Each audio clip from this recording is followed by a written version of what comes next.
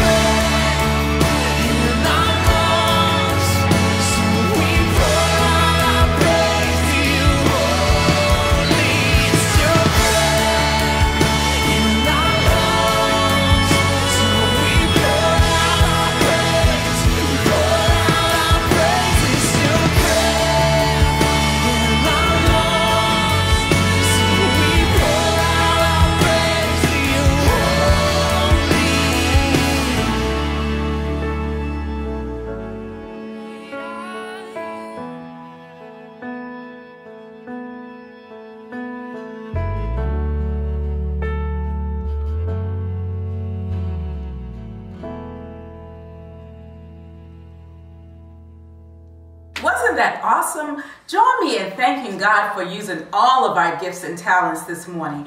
Thank you, praise team and dancers, for God using you to bless us. Now, let's go to God in prayer. Our Lord and our God, we thank you for this day. We thank you for all of your many blessings. God, we thank you for using us to worship you and to give you praise. Now, God, we ask that you will open our eyes, open our ears, open our hearts, that we will hear all that you would have us to know, that we will see all that you will have us to know and experience the same. In Jesus' name we pray. Amen. Now for our scripture. Our scripture today is coming from Luke chapter 24, verses 13 through 35, which I would like for you to read this week with your parents. But for our time together, we're going to read Luke chapter 24, verses 13 through 15, and I'm reading from the New International Version. Now, that same day, two of them were going to a village called Emmaus about seven miles from Jerusalem. They were talking with each other about everything that had happened. As they talked and discussed these things with each other, Jesus himself came up and walked along with them, but they did not recognize him. The title of today's lesson is More Than This. All month long, we've been talking about how Jesus came and he turned the world upside down with humility. Now, can you tell me what humility is? I know you know it. That's right. Humility is putting others first by giving up what you think you deserve. Today we're picking up things right after Easter when Jesus had died on the cross and he had been raised from the dead. The Bible story is a little bit different today because I need you to join me in helping to tell the story by participating. Now, I don't want just some of you to participate. I want all of you to participate. We pick up the story right after Easter when Mary runs to tell Peter and John that Jesus is nowhere to be found. The tomb is actually empty. Peter and John and Mary, they go back to the tomb and Peter and John go in and they look and they see the linen cloths where Jesus had been, that Jesus had been buried in, but Jesus was nowhere to be found. That same day, two of Jesus' friends were headed to a village called Emmaus. It was a long walk, about seven miles from Jerusalem. So here's what I need you to do. I need everybody to get up on your feet. And I want you to start walking into a huge circle. One, two, three, go. Start walking. Keep walking. Keep walking. Keep walking. Keep walking. That's great. Only six and three quarter miles to go. Keep, keep it up. Keep it up. You're doing good. You're doing good. Keep walking. Walking. Walking. Walking. Walking. Okay, that's good. You may take your seat. Back to the lesson. We don't know what these two men uh, encountered as they walked along the road. Maybe a few animals, maybe a donkey here or there, maybe a stray dog, maybe some families with babies crying. On the way, the two men were talking about everything that had happened in Jerusalem, about how Jesus had died on the cross and the tomb was empty, and maybe, just maybe, he had come back to life again. They didn't know what to make of all of this, but as they were walking and talking, a man shows up and he starts walking along with them and he asked them, Hey guys, what are you talking about? And they said, uh, Wait a minute, wait a minute. They didn't realize that it was Jesus. So they said, Wait a minute, wait a minute. Don't you know what's been going on in the last few days in Jerusalem? Or were you under a rock? Uh, I mean, so much has happened and you don't even know what is going on? Jesus said, What things? The men just stared at him. About Jesus of Nazareth, they replied. He was a prophet. He was powerful in what he said and did in the sight of God and all the people. The men went on and they told Jesus all about himself. They explained how the chief priests and rulers had made up lies and gotten Jesus sentenced to death and being nailed to the cross. They told Jesus the whole story of everything he had done. Okay, get up on your feet, up on your feet. Now I want you to try these moves with me. All right, here we go. Then the men said, We hoped that Jesus was going to free all the people. Plus, it's the third day since all of this happened. A few of his friends were amazed too. They went to the tomb early this morning and the tomb was empty. Great job, kids. Then Jesus spoke. He said, How foolish are you? How long it takes you to believe that the prophets what the prophet said. Didn't the Messiah have to suffer these things and then receive his glory? Jesus went on to remind them of all the scriptures God had laid out was part of his master plans. How ever since the beginning, God had planned to send a savior. He went on all the way back to Moses and, and the prophets. This probably took a while. Remember, they were on their road to Emmaus, which took about seven miles. He talked about all the scriptures that predicted his birth, his life, and his death as they were walking and talking, Jesus kept on along the road with them.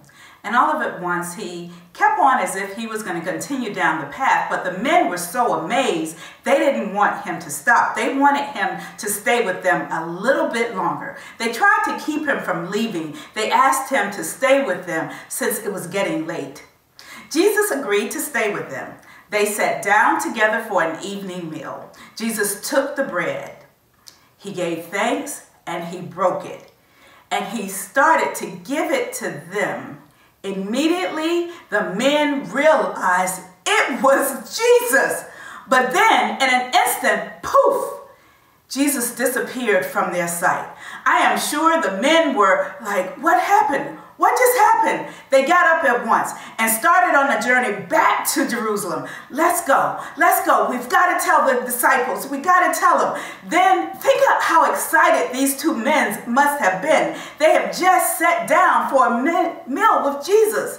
But they had also just came a seven mile journey. But they figured, you know what? We may be tired, but we've got to tell the good news. We've got to go tell the disciples. We've got to find our way back to Jerusalem. They found the 11 disciples and started telling them everything that had happened, how they, uh, Jesus had come and walked with them along the road and how he explained the scriptures and how they finally realized who he was when he began to pass the bread to them. It was true. It was all true. Jesus was alive. The disciples were starting to get a bit better idea of uh, how big God's plan really is. It's bigger and it's stretched longer and further through history than any of them could ever imagine. Remember this, everyone.